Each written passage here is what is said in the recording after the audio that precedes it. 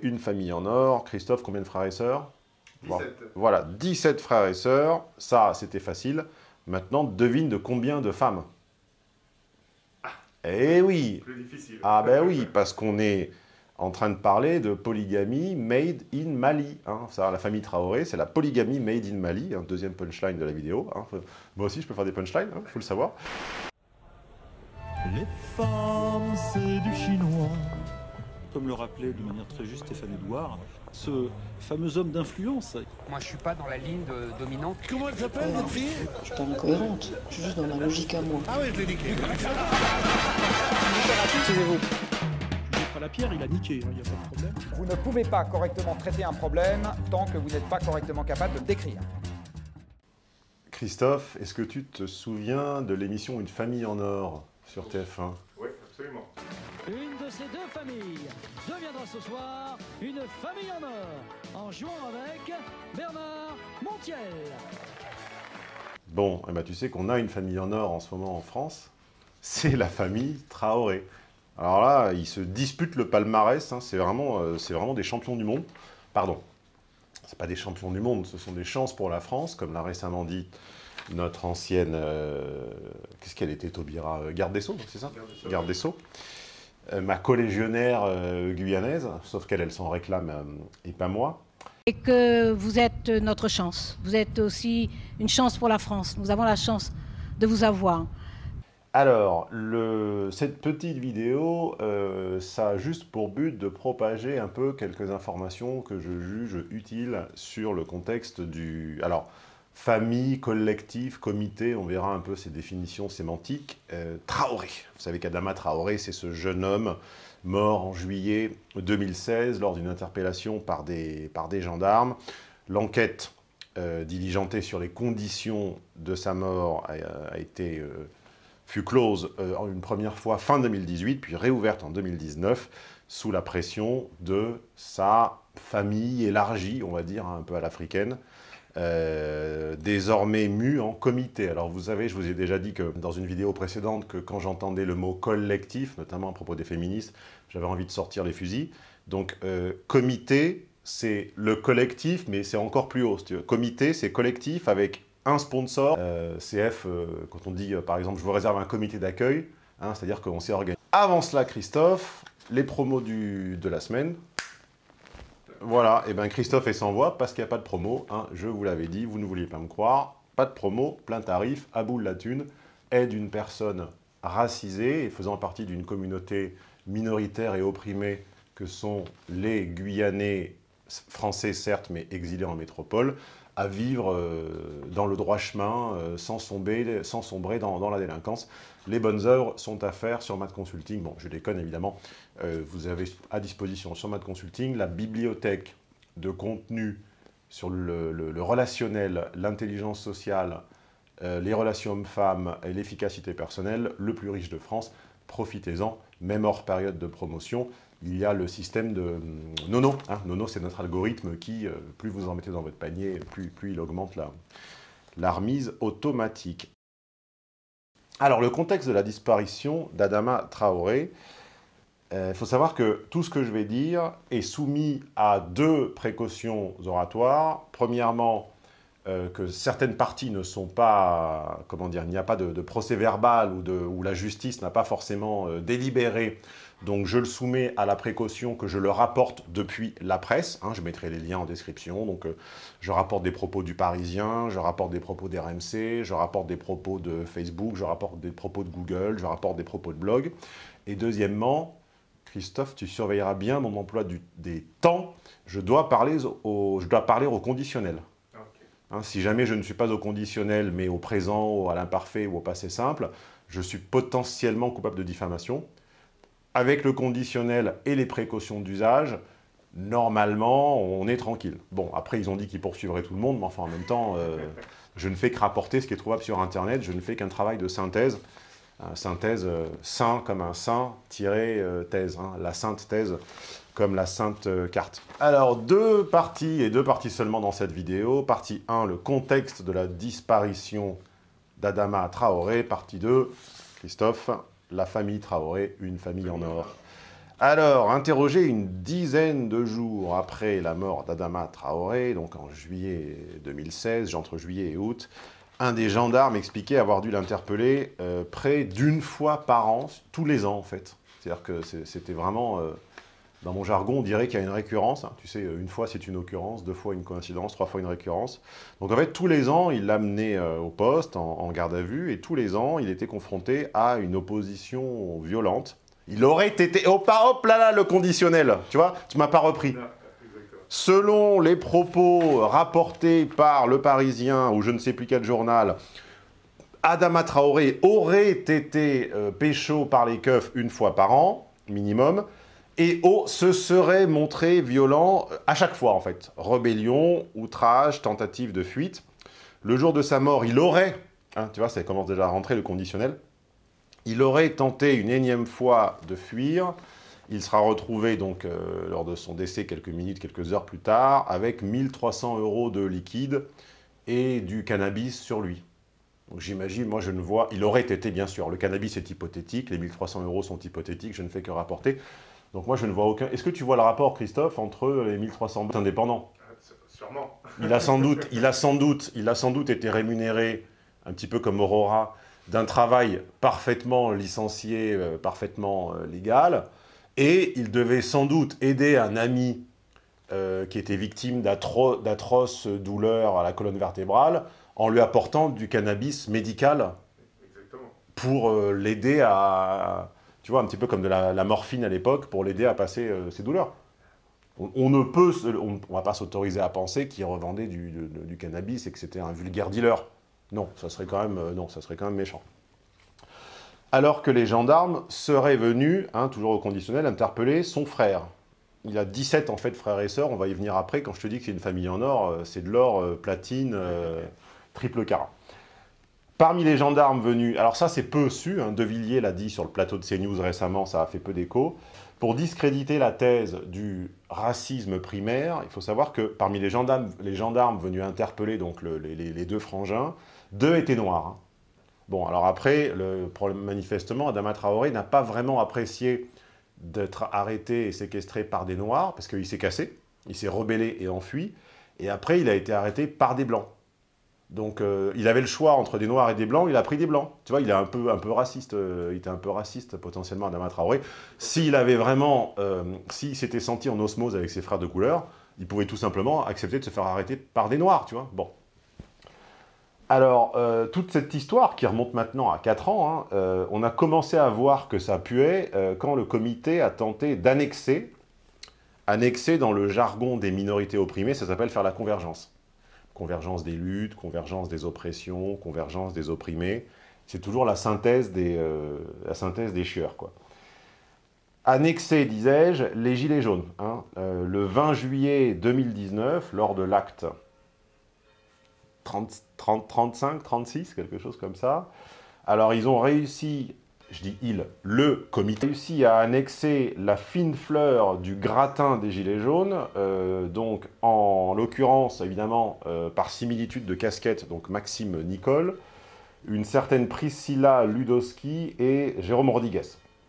Le porte-parole du comité saluait alors leur réussite inédite, à savoir avoir fait déplacer tout le monde dans les quartiers populaires en banlieue. hein. C'est-à-dire que à la récupération politique du mouvement que tous les partis ont échoué à, ont tenté et sur laquelle ils ont échoué, hein, euh, de l'extrême droite à l'extrême gauche, eh bien le comité, sans, vergogne, euh, spudoratamente, comme on dirait en italien, sans pudeur excessive, ont quand même, euh, avec leurs atouts et leurs armes à eux, tenté d'annexer le mouvement des Gilets jaunes et euh, ils sont partiellement, partiellement parvenus. À propos des banlieues, Christophe, rappelle-toi que dans ma vidéo sur George Floyd, euh, une de mes phrases les plus critiquées, euh, une parmi les nombreuses, reprises et critiquées, euh, c'était sur la responsabilité des habitants eux-mêmes dans la dégradation de leur propre quartier. Moi, je pense que le sort des quartiers est grandement dû aux gens qui y habitent. Eh bien, on m'a fait parvenir sur Twitter, hein, c'est Twitter étant le réseau social sur lequel je suis le plus actif en ce moment, rejoignez-y moi.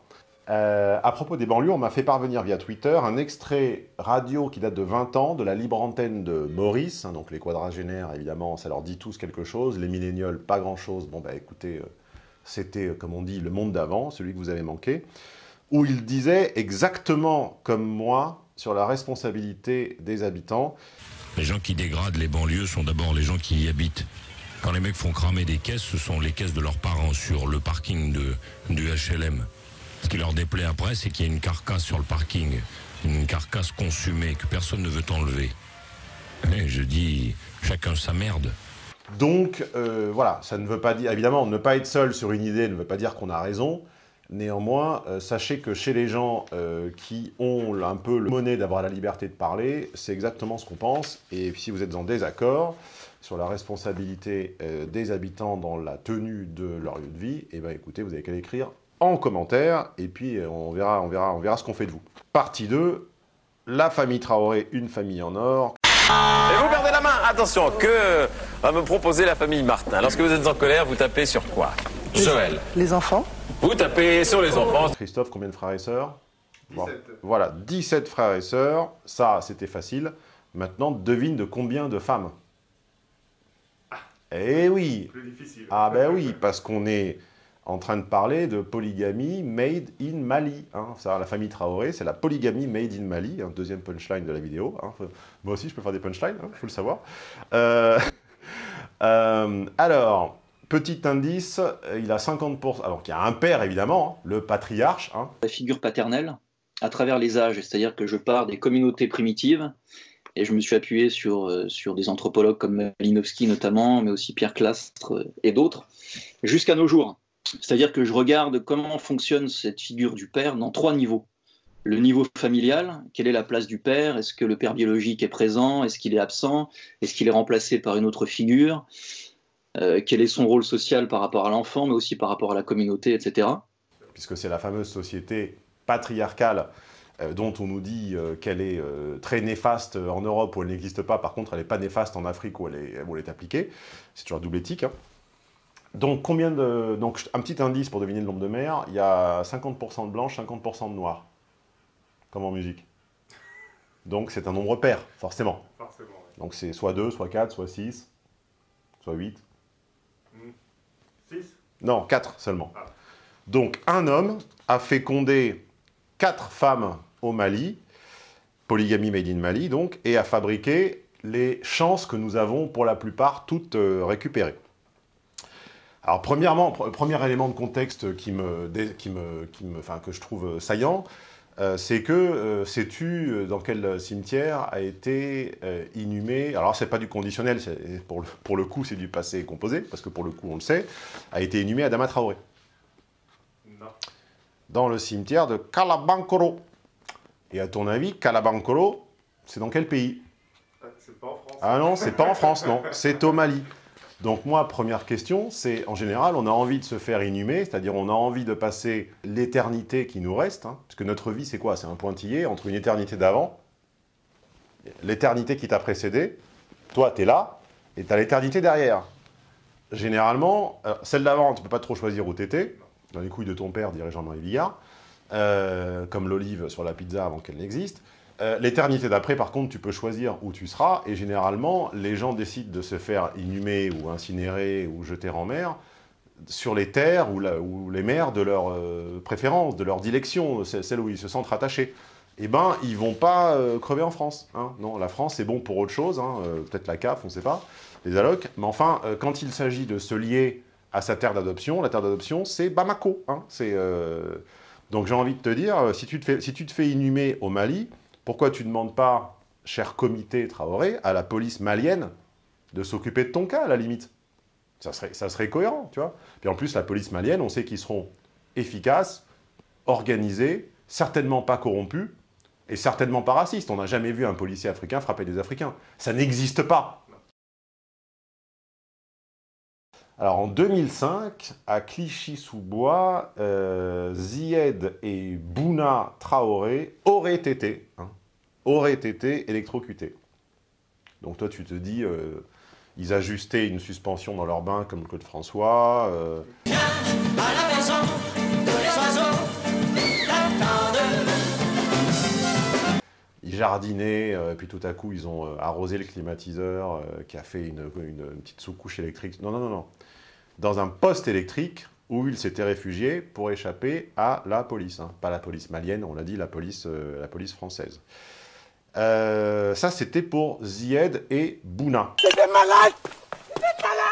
Samba, Samba Traoré, hein, autre chance pour la France, autre membre de la famille en or. Samba Traoré aurait, au conditionnel, euh, asséné un coup de balai sur Mehdi.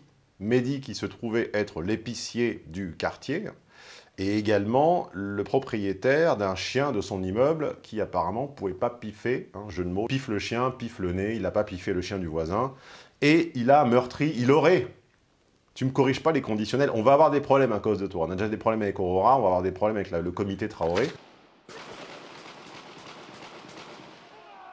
Donc il aurait en fait euh, massacré et assommé à coups de, à coups de, ba- de- de balai Mehdi l'épicier, propriétaire d'un autre euh, chien. Et il aurait pris, enfin il a pris, mais je dis aurait euh, pour me couvrir, mais en fait ça c'est officiel, 4 ans de prison, dont 2 ans et demi ferme. Et ça n'est pas fini, la victime a raconté, là pour le coup, il n'y a pas de preuve, donc c'est du conditionnel. La victime a raconté que. Assa Traoré serait, au conditionnel, venu le voir à l'hôpital, pas seul évidemment, hein, toujours avec un ami un peu, un peu balèze, un cousin. Quand tu as 17 frères et sœurs, je te laisse imaginer combien tu as de cousins, hein, euh, 192. Euh, et lui aurait proposé de l'argent pour qu'il retire sa plainte. Source Le Parisien. Voilà, donc moi je ne fais que citer les propos du Parisien au conditionnel, donc je suis couvert, tout va bien. Alors, son demi-frère, euh, le demi-frère d'Assama Traoré, euh, Bagui, hein, pas comme les pantalons, euh, qui avait euh, 24 ans en 2016, aurait été condamné pour extorsion de fonds. Donc ça, c'est quand même pas très cool. Mais comme ce sont vraiment, comme c'est vraiment une famille en or, tu ne te contentes pas d'extorquer des fonds à quelqu'un en pleine, possession de ses capacités. Non, tu extorques des fonds à une personne sous curatelle, c'est-à-dire qui n'est pas à même de se défendre, et tu prends, ou tu aurais pris deux ans et demi de prison ferme à Fleury-Mérogis. En prison, normalement, tu te la joues à la Mike Tyson, tu deviens musulman si tu ne l'es pas encore, euh, tu lis des bouquins. euh. Bon, alors manifestement, je pense que ces deux options euh, ne l'intéressaient pas, euh, soit parce qu'il l'était déjà, soit parce qu'il ne savait pas lire. Euh, il a préféré il aurait préféré au conditionnel trafiquer de la drogue depuis la prison, euh, trafic qui aurait été au conditionnel encore une fois, condamné de nouveau. Source, euh, bon, enfin le Parisien encore, j'ai pas noté la source, mais enfin vraiment Google, Wikipédia, tout, tout- tout est sourcé. 2016, tribunal de Pontoise. Euh, alors Bagui toujours et Youssouf, on ne le connaissait pas celui-ci, c'est un des 17, Traoré, aurait été poursuivi pour violence et outrage sur 8 policiers municipaux et gendarmes. Donc ils se les chopent 8 contre 2, quoi, enfin 2 contre 8. Ils auraient pris 6 et 8 mois de prison ferme.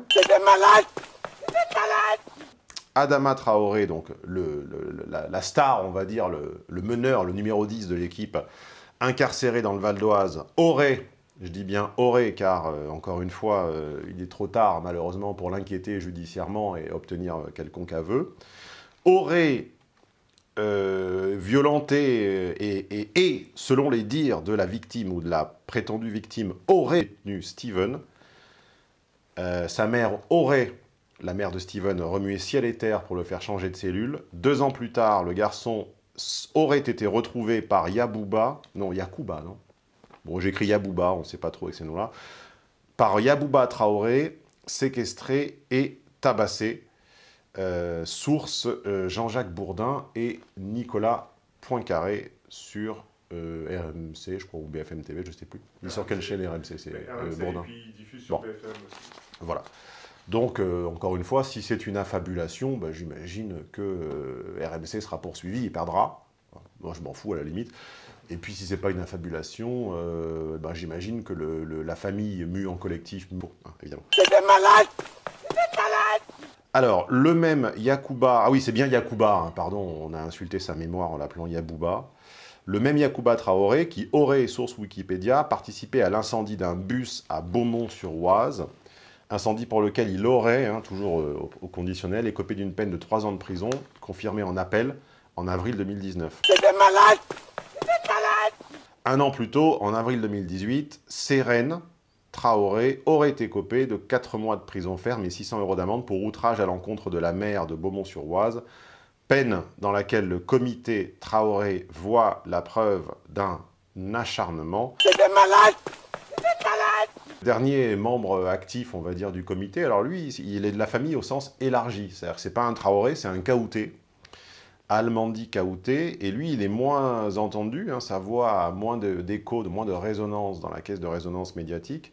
On va se demander pourquoi. Euh, il est présenté comme un pilier du comité, mais un peu mis sous silence, parce que il aurait dit qu'il faudrait se débarrasser, je cite, hein, conditionnel, guillemets, source externe, qu'il qu'il faudrait se débarrasser des 1% qui détiennent les groupes de presse. Donc moi, à ce stade-là, j'ignore qui détient les groupes de presse, j'ignore s'ils font partie des 1%, je ne sais pas qui sont ces 1%. Euh, si tu as des informations à ce sujet, euh, j'imagine qu'il faudra me le dire. Si vous avez des informations au sujet des 1% qui tiennent les groupes de presse, je vous invite à ne surtout pas les écrire dans les commentaires, car vous me vaudriez sans doute des problèmes. Donc je vous invite à taire tout cela et à considérer gentiment, à l'instar de Christiane Taubira, que le collectif, la famille, mu en famille élargie, mu sur l'ensemble des réseaux sociaux pour en discuter, Twitter en premier. Si vous euh, kiffez ma poire ou mon discours ou Christophe ou quoi que ce soit, c'est le moment de vous abonner à la chaîne et de, euh, de nous remercier pour ce travail avec un petit pouce. Vous ne pouvez pas correctement traiter un problème tant que vous n'êtes pas correctement capable de le décrire. C'est-à-dire que tant que vous ne savez pas décrire correctement un problème, ce que vous croyez être une solution, en fait, ça sera tiré au hasard. Et quand vous tirez au hasard, la probabilité que vous atteigniez votre cible est extrêmement faible.